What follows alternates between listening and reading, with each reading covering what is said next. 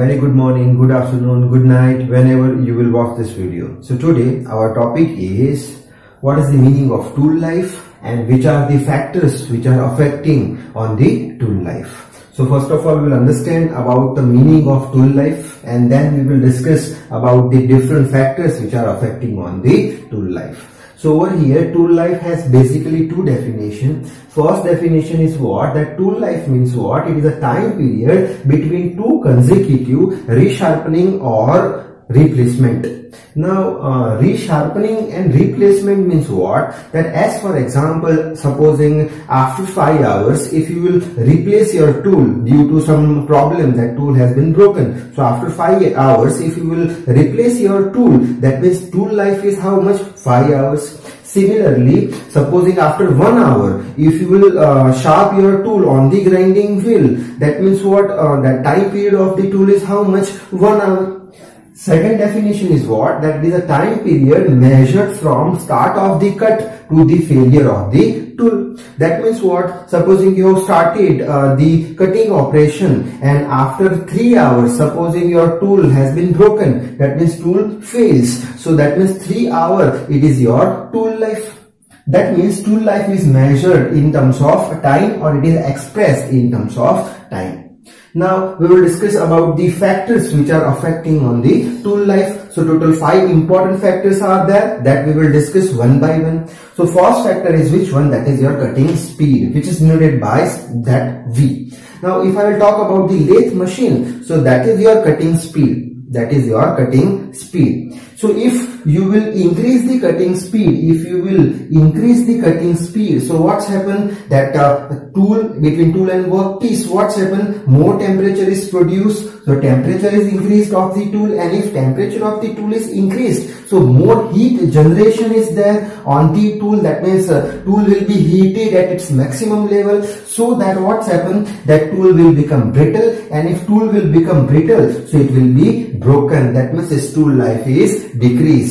So we can say like this that if cutting speed is increased, if cutting speed is increased, so what's happened? Tool life is decreased. Why? Because at a high cutting speed, temperature is more, heat is more. That means tool will become brittle. So that tool life is decreased. Opposite of that, if you will think how that if I will uh, decrease the cutting speed, if I will decrease the cutting speed, so what's happened? Less temperature will produce on tool, less heat will produce. So that tool will not become brittle. So that tool life is increasing. So tool life and cutting speed both are inversely proportional to each other. That is your first factor. Now second factor which is affecting on the tool life is what? Feed and depth of cut. In the case of lathe machine that is your feed and that is your depth of cut. Now if you will increase the depth of cut or feed, so what's happened? More amount of the material will remove. So you can say like that, production of chip of amount of chip is more. That means we can say like this that more amount of chip will flow from the surface of the tool. So more amount of chip will flow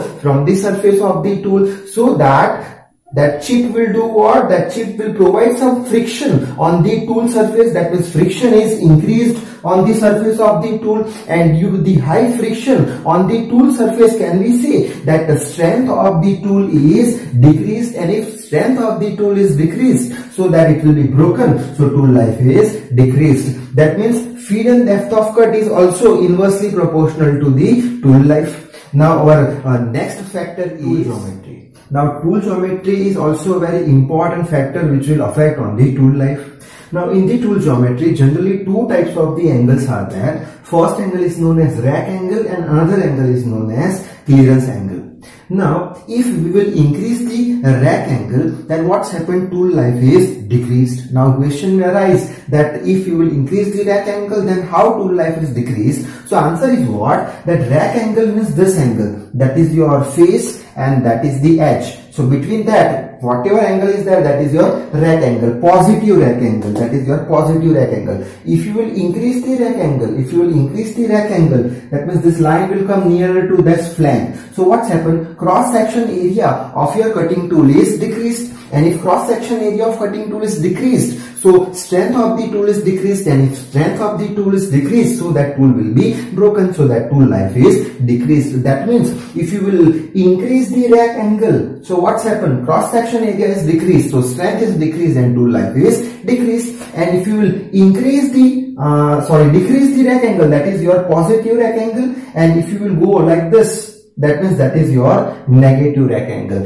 in in increasing in decreasing the rack angle that is your increasing rack angle positive rack angle if you will decrease the rack angle like this so that is your negative rack angle so that cross sectional area is increased so strength is increased, that means tool life is increased. That means rack angle is inversely proportional to tool life. If you will increase the rack angle, tool life is decreased due to the less cross section area. If you will decrease the rack angle, so cross section area is increased, so tool life is increased.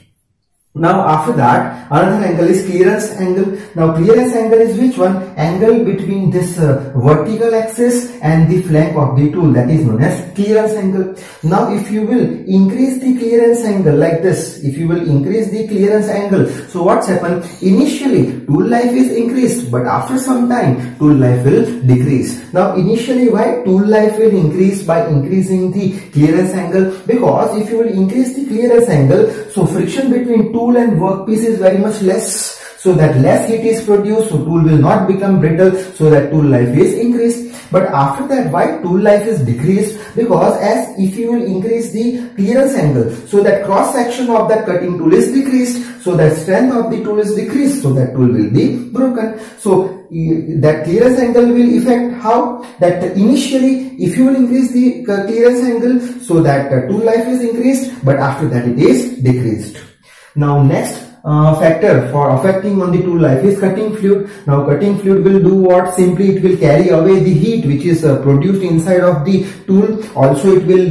decrease the coefficient of friction of the tool so that uh, tool life is increased. And last one is which one? Which factor that physical and chemical properties. So which are the physical property? First one is this, the coefficient of friction of the tool must be very much less then only friction will be less, then only temperature and heat will be less, then only brittleness will be less, then only tool life is increased. Next physical property is flash point. Now flash point of the tool material should be very much high. Then only at a very much higher temperature it is not capable to produce a spark. If flash point is high, that means at a very much high temperature, maybe it will produce this spark. So that tool life is high. That means flash point must be very much high. Then only tool life will be high. Last one is which one physical property corrosive property but obviously if corrosive property is less. Then only tool life is more. Last one is chemical property first one is neutral. So tool material should be neutral. Tool material should be neutral means what? That that tool will never uh, uh, you can say that react with the environment air. If it will react with the environment air so what's happened? Oxidation will produce and due to the oxidation corrosion of the tool is there so that tool life will decrease. And last one is what? Oilness now oilness of the tool must be very much less if oilness of the tool is high. So what's happened? Whatever chip which are present on the surface of the tool, they cannot be easily removed. So what's happened? That chip which is present on the tool uh, will effect on the surface of the tool. So surface of the tool will be spoiled. So that tool life will be less. So this is all about the factors which are affecting on the tool life. Now I would like to end this video. So till then, read hard, work hard. Thank you very much.